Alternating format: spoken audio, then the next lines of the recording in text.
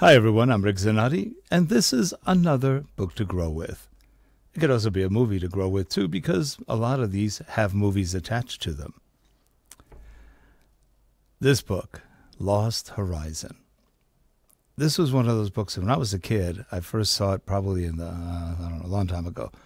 But this movie, the movie was uh, actually made in 1937, the original, with Ronald Colman. That was a long time ago, and yet it was a pretty cool movie. Um, they redid it, and I think in 1973, it was rated one of the worst movies ever made. I think it's in the top 50 worst movies.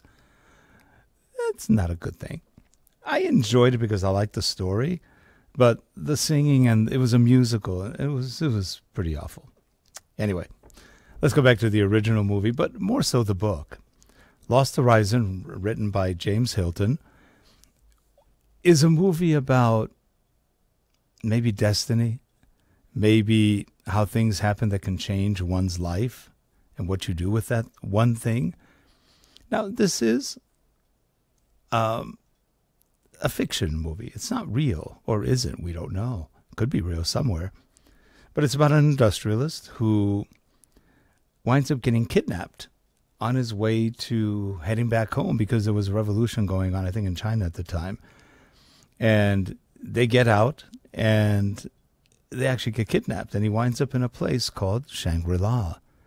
Now, you may or may not have heard of Shangri La, but that was considered a beautiful city the, a wonderful city, a magical city, Shangri La.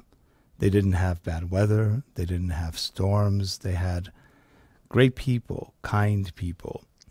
They were led by a priest who was very old. But I'm not going to give too much away because this is one of those books and movies that you really probably would enjoy reading if, if you got into it. I actually like the movie better than the book in this case. Usually I don't, but in this case I do especially the Ronald Colman movie. It was very well done.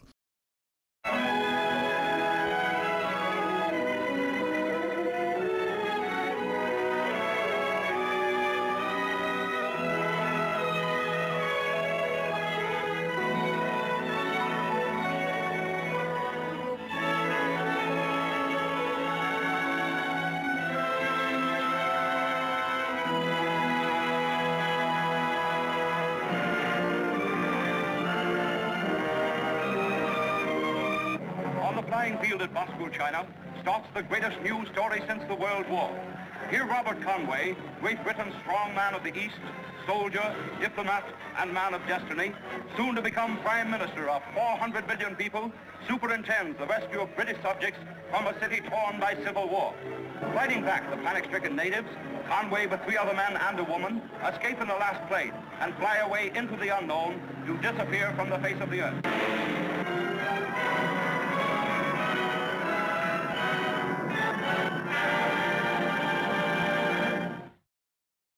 And I also like those classic movies. There's a certain something about the black and white and the look of it, and it was it was pretty a neat movie. I think it's been colorized now. I'm not sure.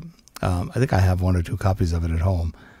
But this movie is all about a journey, how that journey takes you to a different journey, and what you do with that journey, the decisions you make, the choices you take, all changes who and what you are or want to be.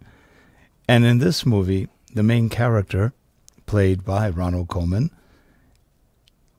the events never bothered him. Somehow, when he got to Shangri La, he felt he belonged there his whole life. And he maybe he did. Something happened to take him there. And when he got there, he was thrilled. His younger brother was not. He wanted out, and in a big way. And so did one of the women in Shangri La, I think it was Olivia Hussey, who played the role, falls in love with him, but really not. She wants out. Uh, but the problem is, if you leave Shangri La, not, not many good things can happen to you. But again, I won't really ruin that for you. It's a great movie. It, it really is an interesting movie. And it's a good book, too. They are slightly different. That happens a lot when screenplays get rewritten to, to make it flow better in a movie type uh, scenario. It is a very interesting uh, movie, and the book as well. To me, the movie was more cohesive. Isn't that interesting? Usually, books are more cohesive, but to each his own. The book is also excellent. It's one of those books about just journeys, very similar in some ways to the book we reviewed earlier, which was The Razor's Edge. Very similar kinds of movies. This one not having the the um, oh, soap opera part of it that was in The Razor's Edge at one point. This is much more of the adventure this man goes on and how he finds what he's looking for. Wouldn't it be great if we could all find what we're looking for when you're looking for it? Or even yet, usually it happens when you're not looking for it. But in this case, he was not looking for it, and yet there he was, resonating with the whole situation. It's a great, great book, great movie. The second movie, uh, if you're a diehard of the book like I was, or of, of the movie like I was, it's okay. It's painful to hear because it's really lousy as far as the singing goes and all that. But but the story is about the same, and the sets were newer now. It was done what sixty years later almost. Uh, big difference.